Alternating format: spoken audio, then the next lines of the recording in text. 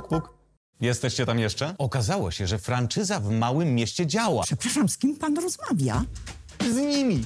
Potencjalni franczyzobiorcy. A to powiem, że żabka jest ekstra. W Żabka Cafe Codziennie możesz zjeść coś innego. Mam aplikację z fajnymi promocjami. Dostawy w ciągu 24 godzin pod drzwi. Aplikacja do zarządzania sklepem, wsparcie we wszystkich procesach i polisa na biznes. I dużo więcej. Żabka to dobry biznes również w bardzo małych i średnich miejscowościach. Zdecyduj się, dowiedz się więcej.